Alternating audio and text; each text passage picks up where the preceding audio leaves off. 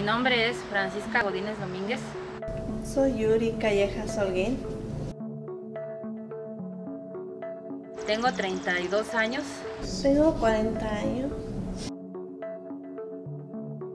En una fábrica en la elaboración de calcetas.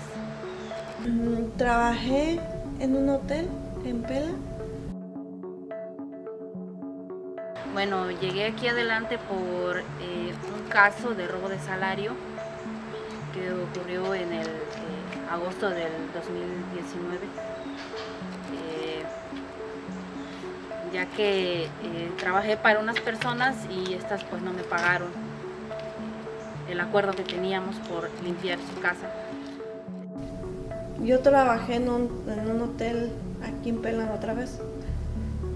Ah, no me gustó porque me empezaban a robar mi salario, entonces volví a regresar y fue cuando ellos ya me ayudaron aquí que pues que me estaban robando mi salario, que no me querían pagar lo que me faltaba. Y yo pensé que nada más me iban a, o sea, yo nada más estaba cobrando lo que me faltaba de mi cheque, pero aquí me hablaron que no, que era más dinero, mi overtime y, eso, y lo que yo no era, tenía yo conocimiento que, que tenían que pagar mi overtime.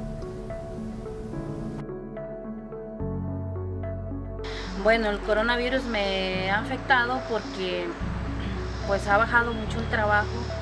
Eh, de hecho, mis compañeros se enfermaron de, COVID en el trabajo. Es este, bueno, independiente de lo que, de lo que estaba hablando, de, lo del robo de salario. Eso es independiente de mi, mi- mi trabajo eh, que tenía normal. Este, y pues creo que creo que a todo a toda la comunidad latina nos ha afectado ya que eh, ha habido muchos contagios eh, y por lo mismo digo ha bajado las horas y estamos pues sí, a lo mejor con temor de enfermarnos.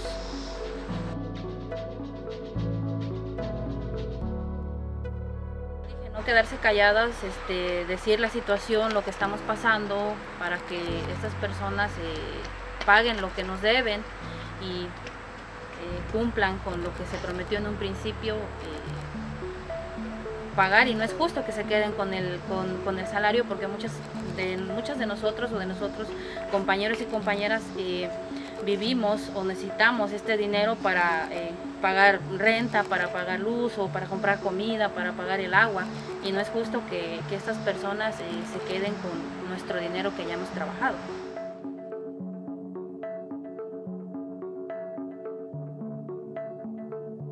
Fue una experiencia muy bonita acercarme adelante. Muy buenas gentes personas, muy amables todos y todos me brindaron la mejor ayuda que pudieron. Y gané mi caso. Entonces, este pues por eso estoy agradecida con adelante porque así como lograron mi caso, hay más casos que pueden hacer que se haga justicia.